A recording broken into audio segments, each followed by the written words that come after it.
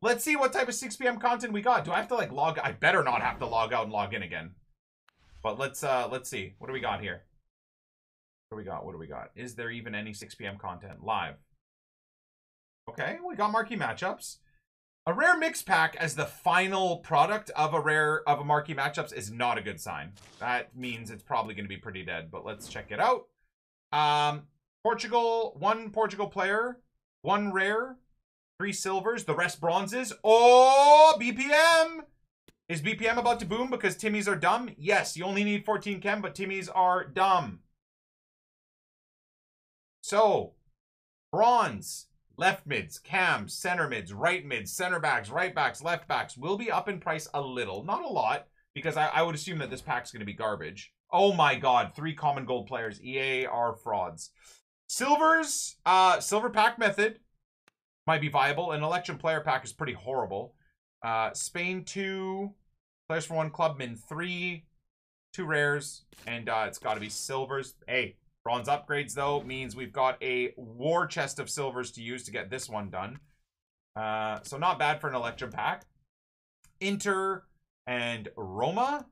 Ooh, hold on a second here.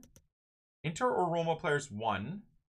Italians, two. Three clubs. You just use one league. I mean, I just get an untradeable Inter uh, or Roma player in there, right? And then just use one of the off league. 72 rated. Maybe use one or two of your higher rated. I'm talking 81 or 82 untradables, right? Would be smart for Inter or Roma if you have them, or Italy. And then you can use all of your silvers that you use from the bronze upgrade method, right? All of your untradable silvers, you can put them into this and this. So that's basically two two packs done for free. Again, not the best packs, but nevertheless, you get two trade. You get rid of your untradables for two tradables packs. is still good. You never know. Could pack an Mbappe from a mixed premium pack. And then a Prime Electrum is actually better than the Rare Mixed, in my opinion. And it's 75 rated, which is, once again, two or three or four decently high rated guys. And then you can use any bron any silvers you want, maybe even some bronzes. Man City or Man United. Can't, I'm so excited for Prem to be back. Can't wait to watch Leeds on Sunday. We'll be able to watch a lot of football uh, during the charity stream, too, which will be fun. Prem players, two. Players from one club, max five. And three rare. So, again, you use three or four uh, untradeable, higher rated players if you have from City and United, and then just use your silvers. So that's pretty great. That is pretty great. Um, I, in terms of efficiently doing it, I mean, I would argue that these packs are all god awful. Absolutely god awful. No, it's not untradeable. They're all tradable. No, no, no, no, no. It's all it's all tradable. See? It's all tradable, guys.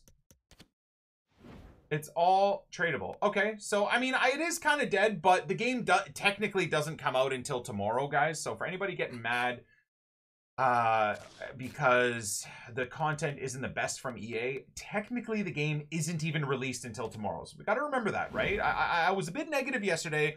I want to be a new version of myself. I want to try and be positive, look at the positives and uh, it's fine. It's early days. I know a lot of stuff is untradeable. A lot of stuff is annoying. Yesterday it was pretty obnoxious that they released um uh what was it? It wasn't a lightning round, but uh, special packs in the store before the game's out is is even is low for even EA. Having said that, we're gonna keep it positive and keep it going. Is there anything for objectives that we can grind? Anything new they've added? Because yesterday they did a couple of good things. These two were almost done doing organically. So a couple of more good packs for Project One to watch.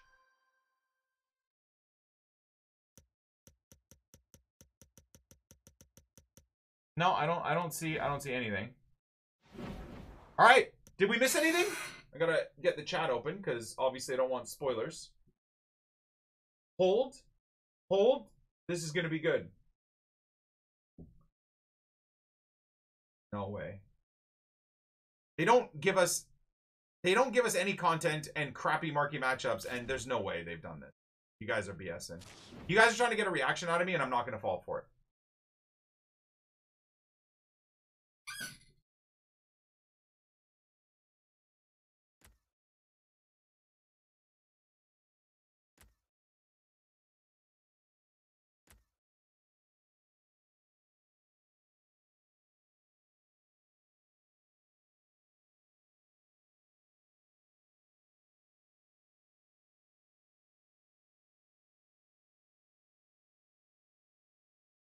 That content's god awful. Positivity.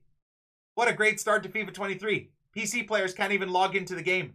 The game's broken for most people. People's accounts are being banned for packing bronze players. The game isn't even out yet. There aren't even in NVIDIA drivers for PC players. The game blows up most P most PCs. But hey, at least before the game's out, there's four new sets of packs that you can buy for coins, of which some of them are untradeable and barely any lower priced.